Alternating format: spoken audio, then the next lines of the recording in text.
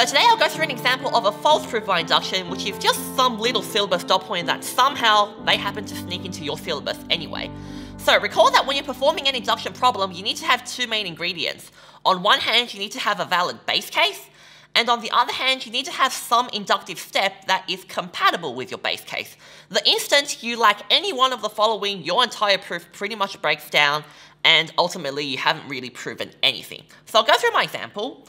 So what you'll see here is that I have a statement and that's the sum of the first 10 integers is allegedly equal to a half n minus 1 n plus 2, which I know it's not equal to.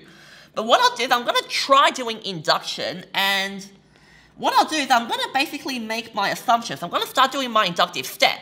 I'll assume the statement is true when n is equal to k, and for convenience, I'll also restate what it is I'm trying to prove, i.e. when n is equal to k plus 1. And then I'll go through my working out. So I'll see on the left, I have that expression, which I see, oh, well, then I can just sub my assumption in straight away, so I'll go ahead and do that as well. And then I'll use my clever factorization technique where I pull the one half out in front because I see there's a half out here in what I'm trying to prove. So you may want to pause the video to digest that, but trust me, that's perfectly valid.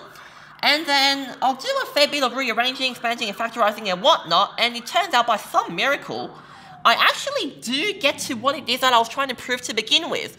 So when you look at this, you'll see that, oh, it looks like I actually have a very valid inductive step. But here is the problem.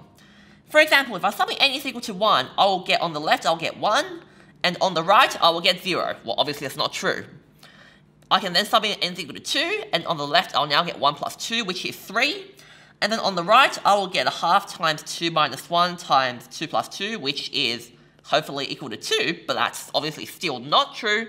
And the idea is that no matter what value of n I sub, for example, 3, 4, 100, or a million, or whatever it is, if I try subbing that value in, I will never have a statement that is true regardless. So ultimately, I do not have a base case no matter how far out I go. And that's basically the hint to me that I've basically done a false proof by induction and I've pretty much not proven anything at all at the end of the day. Thanks for watching, everyone.